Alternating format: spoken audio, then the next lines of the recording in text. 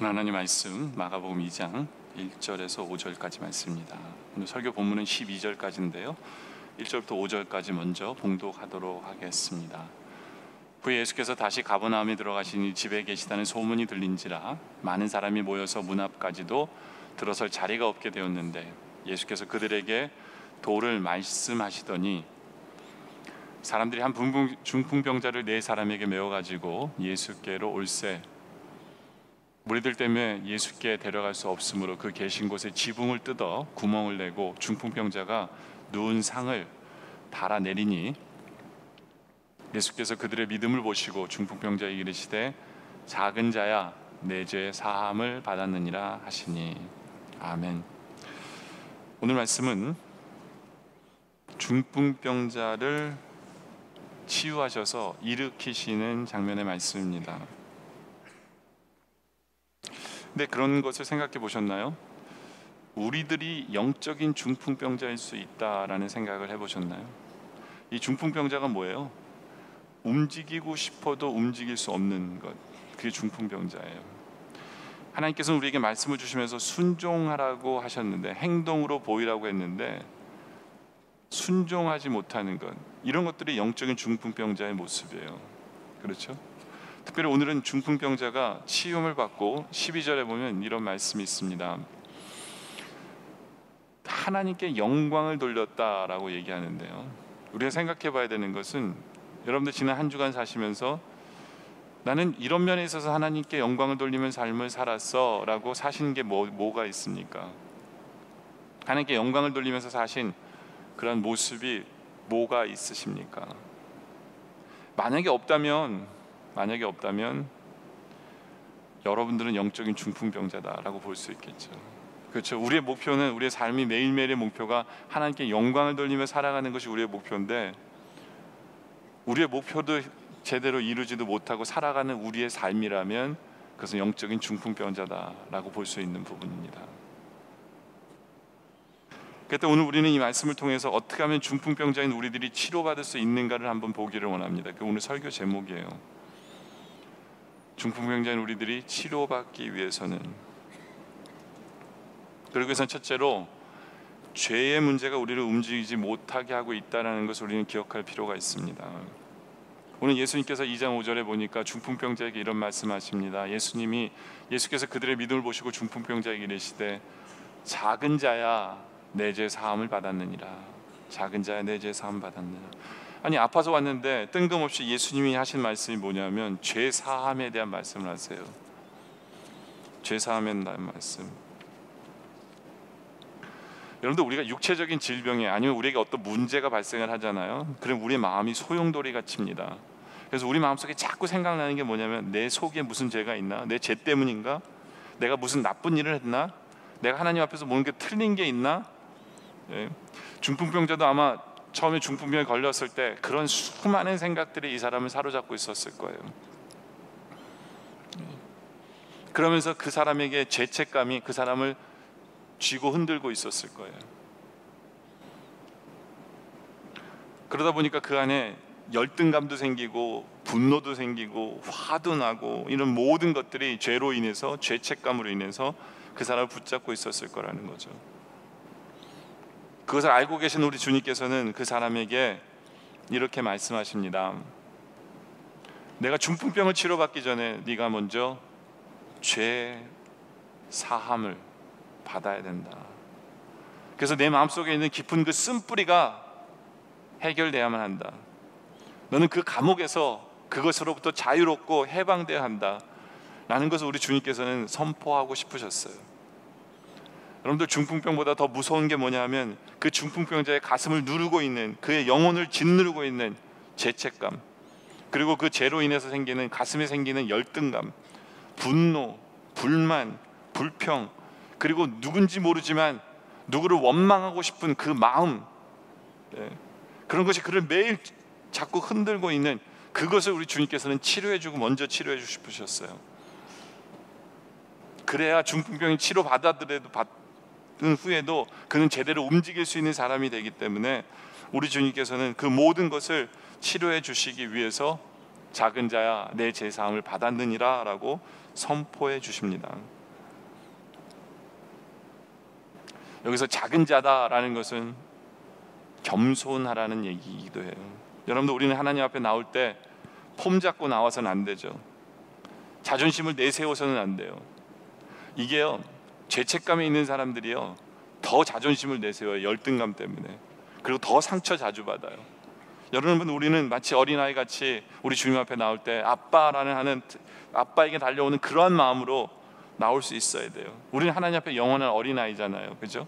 우리가 50세든 40세든 뭐 90세든 100세든 우리는 하나님 앞에 다 어린아이예요. 발가벗은 채로 주님 앞에 나와야 돼요. 근데 우리는 그렇게 못 나오는 이유가 뭐냐면 우리 안에 쓴뿌리가 있기 때문에 우리의 죄책감 때문에 죄가 우리를 흔들고 죄가 우리를 몸, 주님께 못 나가도록 하기 때문에 그런 부분이 많다라는 거예요. 그런 우리들에게 우리 주님께서는 주님의 권위로 주님의 권세로 작은 자야 내 죄사함을 받았느니라고 지금 여기 계신 여러분들에게 우리 주님께서 똑같은 말씀으로 선포하고 계시는 거예요. 근데요, 우리들은 우리 주님께서는 그 권세로 내 죄사함을 받았느니라고 선포해 주시는데 문제는 우리 스스로가 믿지 않아요. 우리 스스로가 나를 용서하지 않아요. 하나님의 권세로 선포해 주심에도 불구하고 우리는 계속해서 용서하지 못하고 죄책감 속에서 괴로움 속에서 자기를 묶어두고 있는 것이 우리의 모습이에요. 우리 주님 우리에게 탈출하라는 거예요. 해방되라는 거예요. 자유함을 느끼라는 거예요. 네. 여러분들 이 죄책감에 시달리는 사람들의 특징 중에 하나가 뭐냐면 자기 자신을 용서를 못해요. 자기를 용서하지 못해요. 하나님은 용서해 주셨고 하나님은 의롭다고 하시는데 예. 이게 보통 때는 멀쩡해요. 보통 때는 멀쩡해요. 근데 문제가 생기면 이게 이제 쫙 올라오는 거예요. 여러분에게 어떤 안 좋은 일이 생기고 문제가 생기면 이 죄책감이 여러분들을 쥐고 흔들어요. 그리고 열등감, 열등감 속에 빠지게 하고 그리고는 여러분의 마음속에 왠지 모르는 분노와 미움이 생기고 예, 누구를 원망하는 마음이 생기기 시작해요. 그때면 예수님께서 말씀하시는 거예요. 그걸 풀어라는 거예요. 너 자신을 풀어라. 너를 너를 조여오고 있는 그거 생각에서 헤어나오라는 거예요. 그게 죄책감이냐? 그럼 우리 예수님 말씀하세요. 내 죄를 사해 줬다는 거예요. 그게 자존감이냐? 그럼 우리 하나님 말씀하세요. 넌 내 자녀야. 만왕의 왕이신 하나님의 아들이고 하나님의 딸이야. 만약에 그것이 분노냐? 그럼 하나님께서 우리에게 얘기하세요. 원수되었던 우리들에게도 화를 내지 않으시고 우리를 사랑해 주시는 하나님이기 때문에 우리도 분노를 풀라고 우리 하나님 우리에게 말씀하세요. 여러분들 우리 주님께서는 중풍병을 고쳐주기 위해서 먼저 죄를 사해 주셨다는 것을 우리는 기억해야 돼요. 그리고 우리 주님께서 말씀하시죠. 11절에 보니까 내가 내게 이르노니 일어나 내 상을 가지고 집으로 가라. 죄를 사해 주시고 그리고 6절 뒤에 5절에서 죄를 사해 주시고 6절 뒤에 11절에서 이제 됐으니까 네가 중풍병에서 해방되라 상을 들고 가라 이렇게 얘기하세요. 근데 오늘 본문을 보면 재미있는 게 뭐냐면 예수님이 죄를 사해 주시는 장면을 보면서 2장 6절에 어떤 서기관들이 거기 앉아서 마음에 생각하기를 이 사람이 어찌 이렇게 말하는가 신성 모독이라고 얘기합니다. 왜요? 죄를 사해 주신 분은 하나님밖에 없는데 예수님이 갑자기 죄를 사해 준다 그러니까 이들이 놀란 거예요. 그래서 오직 하나님 한 분 외에는 누가 능히 죄를 사하겠느냐라고 오히려 이들이 질문해요. 그러니까 예수님이 속으로 그들의 속으로 이렇게 생각하는 줄을 예수께서 중, 중심에 아시고 이르시되 어찌하 이것을 마음에 생각하느냐라고 얘기하면서 예수님이 이상한 질문을 하나 던지세요. 그 질문이 뭐냐면 중풍병자에게 내 제 사함을 받았느니라 하는 말과 일어나 내 상을 가지고 걸어가라는 말 중에 어느 것이 쉽겠느냐라는 질문을 던집니다. 여러분들 이 질문을 던지면 뭐라고 대답하실 거예요? 뭐가 쉽죠? 내 제사함을 받았느냐가 쉬워요? 아니면 내 상을 가지고 가라는 게 쉬워요? 중풍병자에게? 뭐라고 말씀하시는데 하나도 안 들려요. 여러분들에게 쉬운 거 하나도 없어요. 여러분들에게 쉬운 거 하나도 없어요. 근데 왜 예수님께서 이런 이상한 질문 하실까요? 여러분들 우리 예수님께서 어떤 질문을 던지시잖아요. 그러면 그 질문 안에 답이 없을 때가 되게 많아요. 근데 이상한 질문을 던지시는 이유가 뭐냐면 생각하라는 얘기예요. 저게 무슨 뜻일까? 고민하라는 얘기예요. 고민하는 얘기예요. 이거는 깊은 생각이 요하다는 얘기예요. 여러분들 성경에 보면 예수님 부자 청년에 그러죠. 네가 네 재산을 다 팔고 나를 따를 때 너는 구원 안 받는다고 얘기했었잖아요. 그러니까 너는 네 재산을 다 팔고 나를 따르라 했을 때 예? 부자 청년이 그 얘기를 들었을 때 그게 답일까요? 부자 청년의 구원을 얻기 위해서 그게 답일까요? 정말 부자 청년이 다 팔고 예수님 따르면 그럼 그 사람은 구원 받을까요? 예수님이 원하시는 게 그거였을까요? 예수님의 질문이요 그렇게 하는 걸 요구하시는 게 아니에요. 예수님 이렇게 질문하시는 우리는 잘 생각해야 돼요. 예수를 믿어서 구원 얻는 거지 재산을 다 팔아서 구원 얻는 거 아닌데 왜 그 사람이 그 얘기를 했을까? 재산을 진짜로 팔라는 게 아니에요. 예수님 못 팔고 못 팔 줄 알고 얘기하신 거예요. 못 팔 줄 다 알고 얘기하신 거예요. 오히려 그 사람의 내릴 수 있는 정답은 이거였어요. 주님, 제 힘으로는 아무것도 할 수 없습니다. 제 능력은요, 제 욕심이 저를 붙들고 있기 때문에 전 아무것도 할 수 없습니다. 그러니까 주님 저 도와주세요. 이게 답이에요. 예. 그냥 질문만 가지고 거기서 답을 요청하는 게 아니라 고민하라는 얘기예요. 이, 이 부분도 고민해야 돼요. 이런 질문을 던질 때 왜 예수님께서 이런 질문을 던질까? 둘 다 어려운데. 근데 예수님께서 이 질문을 던지신 이유는 예수님에게는 둘 다 쉽다라는 얘기예요. 둘 다 쉽다. 근데 특별히 뭐가 쉬운지를 얘기하고 싶었어요. 뭐가 쉬운지를 그게 뭐예요? 그 다음 절에 구절 다음 절에 나오면 이거 이게 힌트예요. 그러나 인자가 땅에서 죄를 사하는 권세가 있는 줄을 너희로 알게 하노라. 뭐가 쉬울까? 뭐가 쉬울까 하는데 예수님께서 답을 딱 주시는 게 뭐냐면 예수님에겐 권세가 있는데 죄를 사해 주시는 권세가 있고 예수님에겐 이건 piece of cake라는 거예요. 예수님은 언제든지 할 수 있다라는 거예요. 다른 말로 하면 예수님에게 이 권세가 있으니까 예수님께서 이것을 선포하시면 거기에는 죄가 사함을 받는 것이 당연하다. 이걸 믿으라는 얘기예요. 이건 여러분에게도 같은 말씀 하시는 거예요. 우리 주님께서 회, 여러분들이 회개하고 주님 앞에 한 그 모든 죄는 주님께서 기억도 안 하시고 다 사함을 받았다라는 것을 믿으시라는 거예요.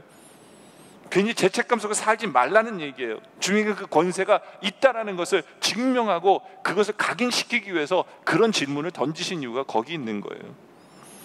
주님은 그렇게도 얘기하는데 우리는 아직까지도 죄책감 속에서 아, 이거는 그래도 기억 안 하시고 이거는 하나님께서 기억하실 거예요. 라고 한다면 그건 이제는 믿음이 없는 거죠. 믿음이 없는 거예요. 여러분들 중풍병이 낫기 위해서는요. 먼저 영적인 부분이 해결돼야 돼요. 우리의 육적인 문제가 해결되기 위해서는 우리 영적인 부분이 먼저 해결이 돼야 돼요. 그게 뭐냐면 죄 씻음이에요. 주님께서 선포해 주신 그 선포 앞에서 주님 아멘 감사합니다. 주님 이제 주님이 나를 의롭다 하셨기 때문에 저는 의롭습니다. 이제 의롭게 살겠습니다. 이거예요. 그것을 인정하고 그것을 믿고 나아가는 것, 그것을 아는 것, 감사하며 힘있게 나아가는 것, 이게 우리에게 필요한 거고, 이게 중풍 병자인 우리들이 이기는 모습이다라는 거예요. 근데 여러분들 이 죄라는 게요, 많은 성도들이 그런 생각할 수 있어요. 목사님, 성경에는요, 죄를 지적하는 게 진짜 많아요. 이것도 죄라 그러고 이것도 죄라 그러고 저것도 죄라 그러면서 죄책감 가지지 말라는 게 이게 모순이 아닙니까? 이런 생각 얘기하는 분이 있어요. 이거에도 죄 걸리고 저거에도 걸리고 저거에도 걸리는데 목사님 죄책감 안 가질 수가 없는데 근데 여러분들 분명히 아셔야 돼요. 왜 예수님께서는 죄를 지적하실까요? 죄를 지적하시면 뭘까요? 죄책감 가지라고 죄를 지적하는 게 아니에요. 죄를 지적한 이유는 예수님께서 그 죄를 사해 주신다라는 얘기예요. 그러기 위해서 죄를 지적하는 거예요. 이 세상의 문제는요. 세상의 세상의 문제는 죄를 지적하면 죄를 해결할 방법이 없어요. 세상은. 그래서 세상의 방법은 뭐냐면 죄를 지적 안 하고 살자 이게 답이에요. 그게 세상의 방법이에요. 그게 세상의 방법이에요. 그래서 세상의 심리학을 보더라도 예, 정신과 의사를 만나러 가잖아요. 여러분들 세상의 정신과 의사를 만나러 가면 여러분의 죄에 대한 얘기는 한 마디도 안 해요. 왜 죄가 여러분들 더 심기를 더 괴롭힐 거라 생각하니까 죄를 어떻게든지 덮으려고 얘기해요. 그게 세상의 방법이에요. 카운슬링 세상의 카운슬링 가보세요. 여러분들 죄에 대한 얘기 한 마디 안 해요. 죄에 대한 얘기 한 마디도 안 해요. 왜요? 죄에 대해서 지적해놓고 답이 없는 거예요. 그 세상의 방법이에요. 그러다 보니까 세상은요 유일하게 죄에 대한 문제를 얘기하는 데는 법원에 가야 돼요. 형법, 경찰서에만 가면 죄에 대한 얘기를 해요. 그리고 딴 데서 죄 얘기하면 그거는 싸우자는 얘기가 돼 버리는 거죠. 그게 세상의 모습이에요. 왜 죄에 대한 해결이 없다 보니까. 근데 문제는 뭐냐면 경찰서에 가서 법원에 가서 죄 문제를 다루면 이건 too late이라는 얘기죠. 그렇죠? 다 교도소 다 들어간 다음에 죄 문제를 들추 뭐 하자는 얘기예요. 그건 too late 아니에요. 그렇죠? 여러분들 목사님들이 이 jail 같은 데 가가지고 오늘 제가 가서 설교하겠습니다 그러면 언제든지 welcome이에요. 왠지 아세요? 왜냐면 그 사람들은 죄인이기 때문에 바뀌어야 된다고 생각하기 때문에 죄 문제에 대한 얘기를 해도 된다고 생각하는 거예요. 근데 그, 그것도 필요하지만 중요한 건 too late이라는 거예요. too late. 우리가 어릴 때 우리 심령이 젊었을 때 학생일 때 순수할 때 죄가 뭔지를 지적해 주고 죄가 뭔지를 얘기해 주는 것이 필요한 거예요. 그래야 우리가 바른 길을 걸어가는 거예요. 성경은 그러기 위해서 우리에게 죄의 문제를 얘기해 주시는 거예요. 그러면 왜 얘기, 자신 있게 얘기할 수 있어요? 뭐냐면 그 죄를 해결하는 방법이 주님이시기 때문에 주님이 사해 주실 것이기 때문에 우리는 얘기할 수 있는 거예요. 그리고 그것이 건강한 사람이 되는 거예요. 피하면 안 돼요. 죄 문제가 얘기 나왔을 때 우리는 숨으면 안 돼요. 아담의 문제가 뭐예요? 죄를 짓고 하나님 앞에 피했어요. 그게 문제인 거예요. 죄를 졌을 때는 우리는 빛 대신 하나님 앞에 나아가야 돼요. 숨으면 안 돼요. 내가 죄가 많을수록 내가 범민이 될수록 괴로울수록 우리는 주님 앞에 나아가야 돼요. 주님 앞에 나와서 드러내야 돼요. 그래서 주님께서 죄 사하 주셨다는 그 말씀을 들어야 돼요. 인자가 이 땅에 오신 것은 예? 죄인들을 위해서 오신 거예요. 우리 예수님은 의원이시려서 건강한 자를 위해 오신 게 아니라 죄인 된 자들을 위해서 오신 거예요. 예수님 수고하고 무거운 짐자다 내게로 오라는 그, 그, 그 짐이 뭐예요? 죄의 짐이에요. 죄짐 때문에 힘들고 어려울 때 우린 주님 앞에 나와서 주님께서 작은 자 내 죄 사함을 받았느니라는 그 말씀을 들어야 되는 거예요. 근데요 오늘 제 설교를 이렇게 잘못 들은 분들은 아 죄는 지적해야 되는 건가 이렇게 이해하시면 안 돼요. 여러분들이 이렇게 친구들 만났을 때 이제부터는 나는 죄를 알려줘야지 해갖고 알려줘 보세요. 대판 싸워요. 죄를 알려주는 게 목적이 아니라 우리의 목적은 뭐가 돼야 되냐면 그 죄를 사해 주시는 예수님을 먼저 알려야 돼요. 우리 주님이 누구신가를 먼저 그들로 믿게 해야 돼요. 죄를 해결할 방법은 줘야 되는 거예요. 그게 먼저예요. 가장 우선이에요.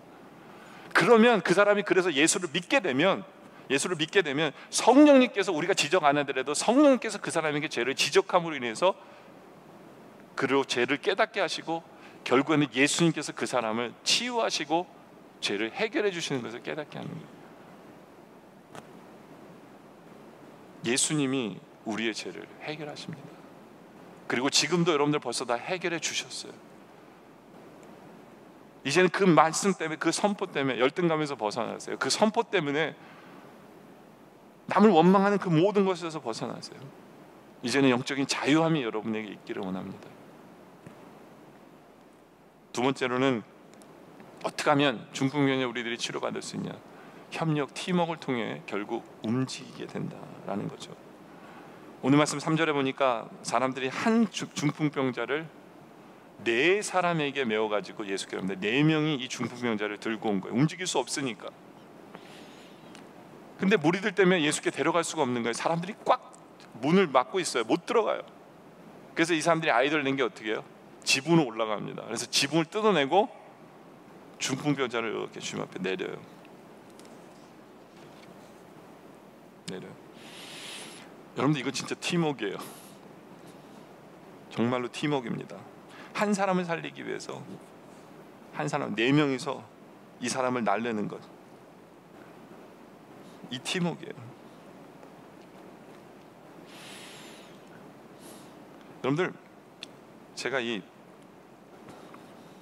설교 준비하면서 협력, 팀워크 하면서 막 이제 설교 준비를 하고 있는데 딱 머릿속에 떠오른 게 뭐냐면 아 요번 주가 팀 사역 자원 받는 날이지 그 생각난 거예요. 저 잊, 잊, 잊어버리고 있었는데 그래서 아 하나님이 기억하고 계시는구나. 오늘 팀 사역 자원받는 날인 걸. 네. 예. 여러분들 교회도 중풍 영적인 중풍병에 걸릴 수 있어요. 그게 뭐예요? 하나님 뜻이 있는데 성도들이 자원 안 함으로 인해 성도들이 봉사 안, 함으로 인해서 움직이지 않으면 하나님의 영광이 안 돼요. 팀웍이라는 거는 여러분들 팀에 먼저 조인해야 돼요. 그래야 움직이는 거예요. 그래야 하나님의 영광이 드러나는 거예요. 네. 하나님은요 우리 인간을 만드실 때 독불 장군으로 독불 장군으로 만드신 게 아니에요.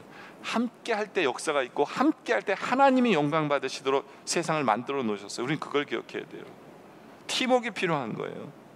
팀웍이 그리고 특별히 오늘 이들을 생각하면서 우리가 이들의 그 팀웍을 이들의 네 명을 생각하면서 기억해야 되는 것은 팀웍에서 기억해야 되는 건 첫째로는 사랑을 행함으로 보이는 것을 보게 됩니다. 그러니까 무슨 얘기냐면 우리가 섬길 때 팀워크에는 사랑이 꼭 들어가야 된다는 거예요. 꼭. 여러분들 중풍병자가 저 이 사람을 볼 때 참 대단한 복이 있는 사람이다라고 느꼈어요. 뭐냐면 이 사람에게는 이 사람을 사랑하는 친구들이 있었다는 거예요. 친구들이. 남자분들 여러분들 관 옮겨보신 적 있으세요? 관? 전 솔직히 뭐 여섯 명이 관을 움직이니까 그 별로 무겁게 생각 안 했거든요. 처음에 관들 때 근데 저 떨어뜨린 뻔했어요. 그냥 딱 들었는데요. 무게가 장난이 아닌 거예요. 걸, 거리도 멀지 않아요. 여기서부터 뭐 저 차까지만 놓으면 되는데요. 물론 제가 키가 큰 게 죄긴 죄예요. 왜냐하면 키가 크다 보니까 제일 먼저 힘을 딱 받게 되는 거예요. 예? 딴 분들은 이해가 되시죠? 제일 위에서부터 먼저 들고 그러니까 팍 내렸는데 되게 무겁더라고요. 근데요 네 명이서 이 중풍병자를 날랐다고 생각해 보세요. 그것도 여섯 명도 아니라 네 명이서 그것도 옆에 집이 아니에요. 주님을 찾아온 거예요. 얼마나 무겁겠어요. 거기다 그것도 모자라 가지고 계단 올라가서 지붕 올라가는 계단까지 이거 이거 오를 때요 얼마나 힘들겠어요. 오를 때 제일 중요한 게 뭐냐면 앞에 앞에 두 명은 키가 작아야 되고요. 뒤에 두 명은 키가 커야 돼요. 안 그럼 이래 가지고 다 떨어져요. 저는 이, 이들의 수고를 보면 이건 사랑이 없으면 못 한다고 저는 생각해요. 사랑 때문에 한 거예요. 사랑 때문에. 사랑 때문에. 저는 이 중풍병자를 보면서 야, 이 서로 사랑하는 이 친구들을 네 명의 친구들을 가진 이 중풍병자는 행복하다. 복 받은 거다. 저는 여러분의 인생에 이런 친구들이 많기를 원해요. 많기를 축복합니다. 근데 그 이 네 명의 그런 친구들이 여러분의 인생에 많을 뿐만 아니라 그 친구들이 다 이 교회 안에 있었으면 좋겠어요. 이 교회 안에. 그런데 여러분 이 무엇이라든지 사랑 팀워크는 사랑이 중요한 거예요. 여러분들 저는 여러분들이 우리 교회 팀 사역에 이거 자원하시는 분들이요 하나님을 사랑하기 때문에 자원했으면 좋겠어요. 교회를 사랑하기 때문에 자원하셨으면 좋겠어요. 그리고 성도를 사랑하기 때문에 자원했으면 좋겠어요. 여러분들이 자원함으로 인하여 다른 사람의 수고를 덜어주시는 거예요. 예전만 하더라도 우리 봉사부 사인하는 분들 많았거든요. 사인하는 분들이 많다 보니까 막 서너 명이서 석 달씩 돌아가면서 했어요. 그러다 보니까 일이 좀 줄잖아요. 근데 얼마 전부터는 봉사부 사인이 주니까 뭐 이제 두세 명이서 일하는 걸 두 명이서 넉다씩 이제 시간도 늘고 일하는 사람도 줄고. 근데 여러분들이 자원함으로 사랑함으로 하면 다른 사람의 일이 줄어드는 거예요. 그러니까 사랑의 동기가 돼서 자원하시라는 거예요. 자원하시라는 거죠. 사랑. 여러분들 그 일본 도쿄 올림픽 때 스테디움을 이렇게 확장하면서 3년 전에 집은 지읍, 집을 헐게 되었어요. 그래서 집을 지붕을 먼저 이렇게 뜯다 보니까 정말 오, 정말 희한한 광경이 있었는데 뭐냐면 3년 전에 이렇게 못질을 했을 때 도마뱀 한 마리가 그 못의 꼬리가 딱 찍힌 거예요. 그러니까 그 3년 동안 움직이지를 못한 거죠. 왜냐면 딱 그 못에 찍혀. 근데 살아 있어요. 3년 전에 못 박혔는데. 그러니까 이 공사하는 사람들이 너무 신기하잖아요. 어떻게 3년이 지났는데 살아있을까 해서 공사를 다 멈추고 도마뱀을 연구를 한 거예요. 도대체 어떤 일이 있을까? 근데 하루도 몇 번씩 이 도마뱀 또 다른 한 마리가 먹이를 입에다 물었다가 주는 거예요. 그 3년 동안 그렇게 한 거예요. 그래서 놀란 거, 이 도마뱀의 사랑에 놀란 거예요. 그래서 이 도종환 시인도 그 이야기를 듣고 시를 썼어요, 이분이. 제가 읽을게요. 그러나 참으로 훌륭한 것은 바로 곁에 있던 도마뱀이다. 사랑하는 도마뱀이 받는 고통을 바라보면서 그 도마뱀이 살아보려고 몸부림치다 절망할 때 어딘가로 가서 먹을 것을 물어왔다. 그리고 입으로 건네주면서 무슨 표정을 지었을까? 제목이 무슨 표정을 지었을까요? 무슨 표정을 지었을까? 그 표정은 아마 절망하지 말라는 표정이었을 거다. 사랑한다고 말은 할 수 없었지만 어떤 눈짓, 어떤 표정이었을까? 어쩌면 고통과 절망 속에서 처음엔 먹을 것을 거부하고 내팽겼을지도 모른다. 그러나 다시 또 다시 어딘가서 먹이를 구해와서 입에다 넣어주는 그 도마뱀을 보면서 너는 버릴 수 없다는 그 표정을 보면서 나만 살리기 위해 내 곁을 떠날 수 없다라는 그 몸짓을 보며 그걸 믿으면서 운명과 생의 욕구를 받아들이면서 얼마나 가슴 저렸을까. 그렇게 하루에도 몇 번씩 위험을 무릅쓰고 먹을 것을 구해다 주면서 함께 살아온 지 3년. 그 도마뱀은 다시 목을 못을 박았던 사람들에 의해서 자유의 몸이 될 수 있었다. 어두운 지붕 밑에서 두 도마뱀은 함께 사랑하고 함께 고통을 나누고 고통 속에 서로 안고 잠이 들곤 하였을 것이다. 그 3년은 얼마나 길었을까? 그때 그 도마뱀은 무슨 표정을 지었을까? 여러분들 동물의 사랑도 그렇게 감동적인데 그죠? 여러분에게는 그 사랑이 있길 원합니다. 하나님을 사랑하는 마음, 교회를 사랑하는 마음, 그리고 성도를 사랑하는 마음 때문에 합력하고 팀워크하는 그러한 여러분들의 모습이기를 원하고요. 두 번째는 이 네 명의 모습을 보면서 우리는 중보 기도의 위력을 또 볼 수 있어요. 그렇죠? 합심하여 함께 기도할 때, 한 마음으로 기도하며 예수님에 나왔을 때 예수님께서 치료해 주시는 이 중보 기도의 능력. 그렇죠? 사도 바울은 능력의 사도였잖아요. 근데 그가 능력의 사도가 될 수 있었던 이유가 뭡니까?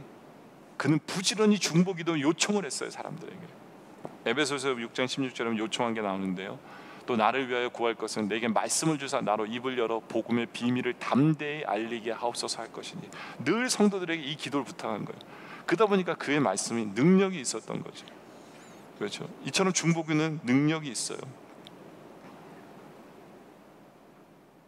중보기도 능력이 있어요. 여러분들 제가 신학교에 들어가 가지고 제가 목사가 못 될 뻔했어요. 왜냐하면 영어 실력이 모자라 가지고 paper를 써내야 되는데 paper 쓰는 게 너무 힘든 거예요. 근데 제 동생이 우리 집에 살면서 3년 동안 제가 쓴 paper를 다 고쳐줘 가지고 졸업하게 했어요. 제가 반대 입장에 서서 제 동생이었다면 제가 제 동생의 paper를 3년 동안 고쳐줬다면 전 안 했을 거예요. 전 한 달도 안 할 거예요. 근데 제 동생이 동생이었기 때문에 그걸 해줬을까요? 나중에 알았어요. 제 동생이 저한테 그러더라고요. 형 내가 왜 해준 줄 알아? 그래서 왜 해줬는데 물어봤더니 자기가 중학교 때 하도 세상적으로 나가는 저를 위해서 기도한 제목이 뭐냐면 우리 형 목사가 되게 해달라는 게 중학교 때부터 기도 제목이었대. 자기가 중보기도 했기 때문에 하나님께서 이 책임을 나에게 주신 거라고 생각해서 그걸 했다는 거예요. 그래서 야 중보기도가 참 무섭구나. 저는 솔직히 제 동생이 그 얘기했을 때 제 동생에게 감사한 게 아니라 기분이 나빴어요. 자존심 상했어요. 왜냐하면 내가 이 좋아하는 이 목사가 내 동생 때문에 됐다는 것 자체가 기분이 되게 나빴어요. 근데 지금은 감사해요. 지금 감사해요. 그 중보기도를 하나님이 들으셔서 그러니까 누군가가 나를 위해서 기도하는 그 기도를 하나님이 버리지 않으시는 거예요. 저는 지금도 예배 드리기 전에 예배를 위해서 중보기도하는 그분들에게 감사해요. 제가 이렇게 설교할 수 있는 것은 예배 때마다 나오셔가지고 부족한 저를 위해서 저의 마, 말씀 전함을 위해서 기도해 주시기 때문에 제가 전할 수 있는 거거든요. 그것이 중보 기도의 힘이에요. 저는 오늘 이 말씀을 통해서 여러분들이 다른 사람을 위해서 기도하고 싶은 마음이 생기길 원해요. 그럴 때 거기에 역사가 있고 우리가 함께 동참하면 하나님의 영광을 볼 수 있는 거예요. 중풍병자가 살아나는 것을 볼 수 있게 된다라는 거죠.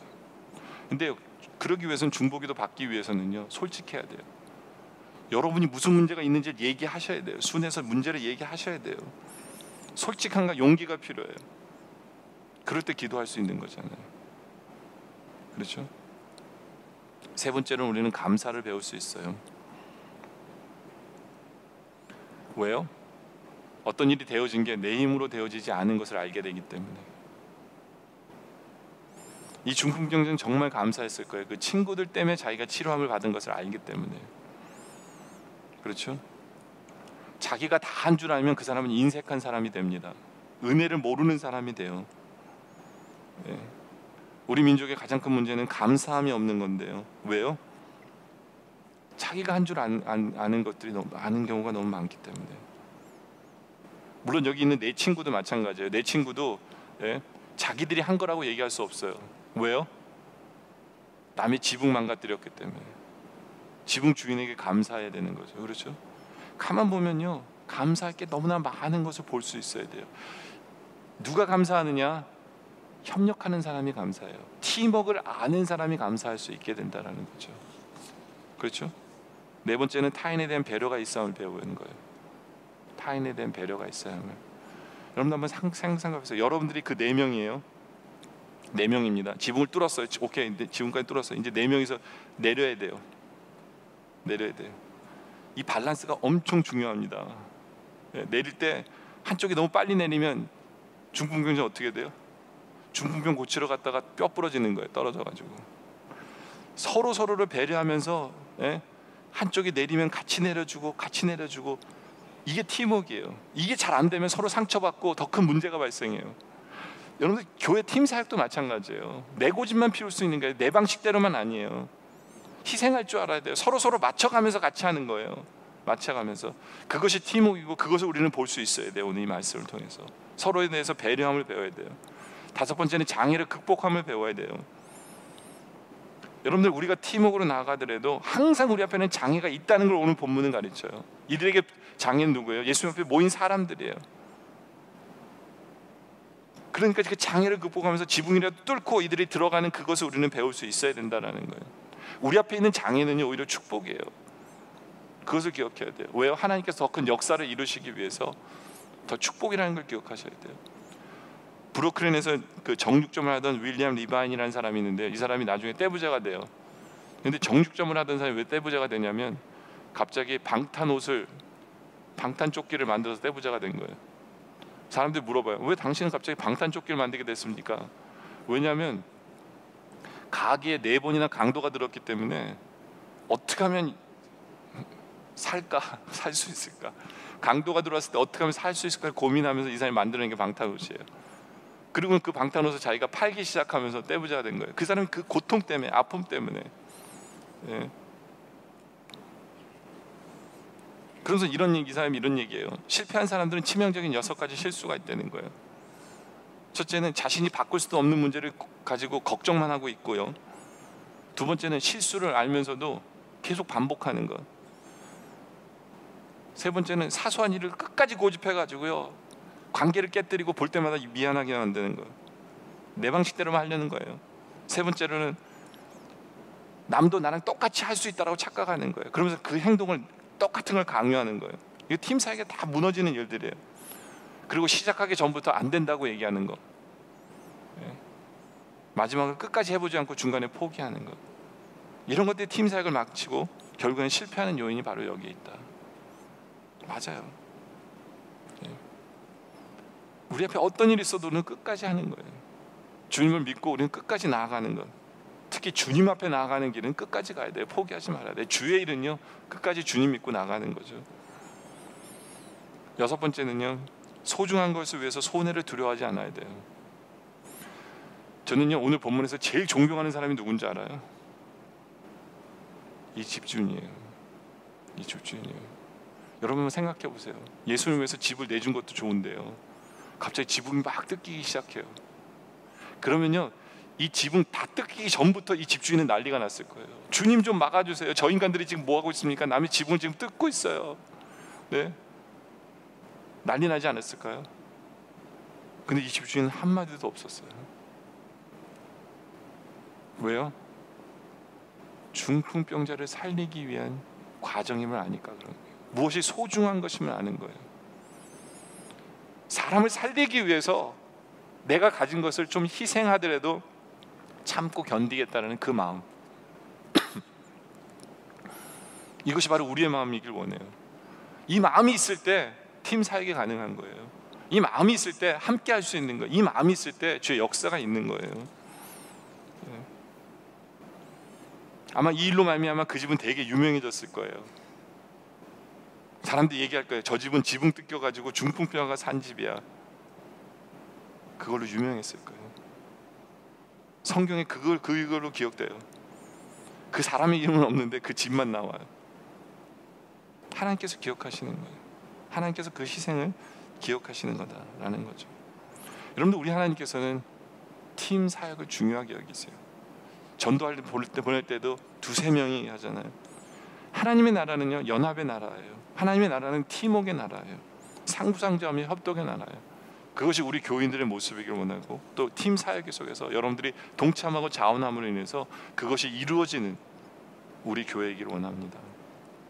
세 번째는 간절함 때문에 가능했어요. 이들은 어떻게 협력할 수 있었을까요? 그 이유는 친구를 살리고 싶은 간절함 때문에 그래요. 예수님에게 나아가고 싶은 그 간절함 때문에 그래요.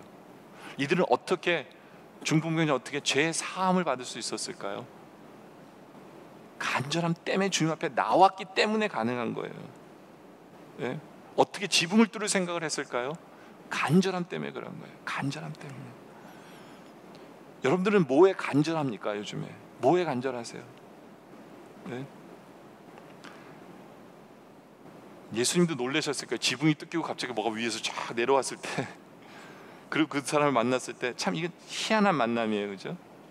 근데 성경에 보면 또 다른 희한한 만남이 있어요. 누구요? 삭개요.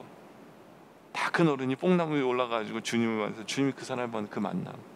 근데 그 삭개오랑 이 중풍병자 비슷한 게 뭐냐면 간절함이에요. 주님을 만나고 싶은 그 간절함. 우리에게 그런 간절함이 있는지 생각해 보셔야 돼요. 물론 이 친구 네 명은요. 물론 이 친구 네 명은 자기 친구의 병을 고치고 싶은 그런 간절함이 있었을 거예요. 그러다 보니까 예수님 앞에 나아가고 싶은 간절함이 있었을 거예요. 근데 여러분들 제가 여러분에게 원하는 그 간절함은 뭐냐면 어떤 문제 해결이 우선이 아닌 예수님에게 나아가고 싶은 그 간절함이 먼저이기를 원해요. 예수님에게 나아가고 싶은 그 간절함. 그럴 때 병도 해결되고 죄도 해결되고 문제도 해결되는 거예요. 예수님 앞에 나아가는 간절함. 우리 예수님께서 그 간절함을 보면서 그 친구들의 그 간절함을 보면서 그들의 평가를 내리실 때 뭐라고 평가를 내려주셨냐면 2장 5절에 보면 예수께서 그들의 믿음을 보시고라고 그랬어요. 그들의 믿음을 봤다. 이게 굉장히 중요한 것 같아요. 이들이 한 거는 간절히 주님 앞에 나아가길 원하는 그거밖에 없었어요. 근데 주님은 그걸 그들의 믿음이라고 했어요. 이건 중풍병자 믿음이 아니에요. 그들의 믿음. 물론 중풍병자 들어갔을 수도 있어요.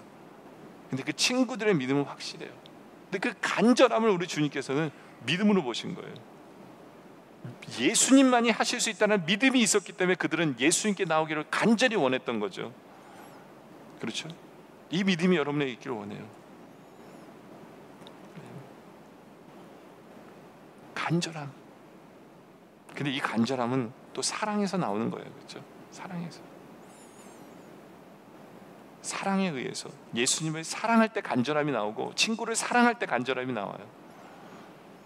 이것이 선교적 교인의 모습이기도 한데요. 이것이 여러분의 모습이에요. 그래서 여러분 안에 좀 간절함이 있기를 원해요. 신앙을 좀 간절한 마음으로 해나가는 여러분의 모습이 있기를 원합니다. 이제 말씀의 결론을 내리죠. 여러분들 죄책감 때문에 하나님의 영광을 돌리기보다는 오히려 내 안에 열등감 속에 살고 죄책감 때문에 죄의 문제 속에서 스트럭하고 아무것도 못하고 있는 여러분들 모습 아닙니까? 이제 주님의 음성을 들으시길 바래요. 작은 자야 내 제사함을 받았느니라는 그 말씀 앞에 아멘으로 대답하고 확신 가운데 거하시고 이제는 주님 앞에 죄 있으면 내어놓으세요. 죄를 해결해 주시기 위해서 죄를 지적하시는 거예요. 그리고 주님 앞에 제사함 받고 기억하지 않으 그것 이제 기억도 안 하시는 그 주님 앞에서 다 주님께 맡기세요. 자유로워지세요. 그리고 이제는 팀워크로 하나 되세요. 함께 일하세요. 함께 주의 뜻을 이루는 여러분들이길 원해요. 함께 주의 몸된 교회를 세워가고 함께 교회를 세, 하나님의 나라를 세워가는 여러분들이 원해요. 사랑의 마음으로 근데 그것을 할 때 사랑의 마음으로 중보 기도하는 마음으로 남을 위해서 기도하며 그리고 감사를 배우면서 타인을 배려하고 그리고 장애를 극복하고 소중한 것을 위해서 손해를 두려워하지 않고 희생할 줄 알면서 팀워크를 이루면서 하나님의 영광을 나타내기를 원해요. 근데 그 과정 속에서 우리에게 간절함이 있을 때 가능한 거예요.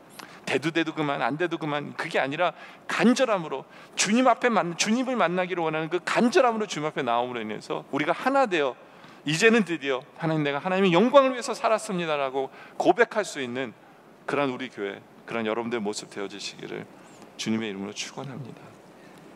기도드리겠습니다.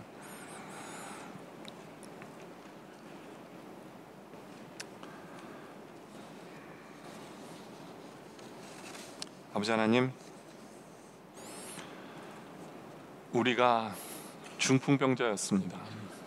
알지만 움직이지 않는 우리의 모습. 하나님께 영광을 돌리며 살아야 되는 줄 알지만 아무것도 하지 않는 중풍병자의 모습이었습니다. 그러나 오늘 주님의 말씀 앞에 반응합니다. 주님께서 우리에게 선포해 주시는 작은 자야 내 제사함을 받았느니라는 그 말씀 앞에 우리는 아멘합니다.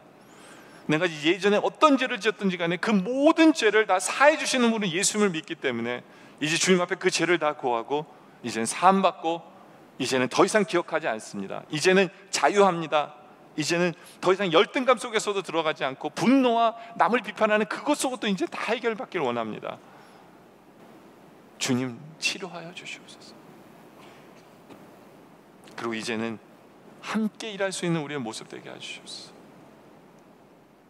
내 고집, 내 방식, 내 생각 다 내려놓고 아버지 하나님 사랑하는 마음으로 남을 배려하는 마음으로 감사하는 마음으로 함께 장애를 극복하고 소중한 것을 위해서 희생할 줄 알며 함께 기도하며 주의 몸된 교회를 세우며 하나님의 나라를 세워가며 이제는 하나님의 영광을 드러내며 살기를 원합니다.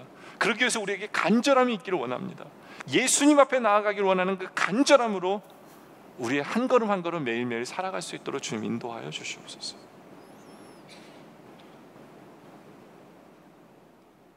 하나님 2014년 하나님께 영광을 돌리는 교회로 표를 내세우고 이제까지 왔는데 진정으로 하나님께 영광 돌리는 교회 하나님께 영광 돌리는 성도들 그래서 하나님 영광을 세상에 드러냄으로 인하여 선교적 교인으로 제대로 서는 우리 성도님들로 인도하여 주시옵소서. 그것을 함께 해나가며 살게 하여 주시옵소서. 예수님의 이름으로 기도드립니다. 아멘.